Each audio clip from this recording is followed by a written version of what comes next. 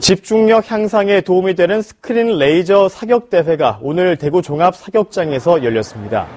이번 사격 대회는 학생과 일반인 남녀 10개 부문에서 예선을 통과한 선수들이 나서 서로의 기량을 겨뤘습니다. 스크린 사격은 화면 속 과녁, 과녁에 레이저 총을 쏘는 방식입니다.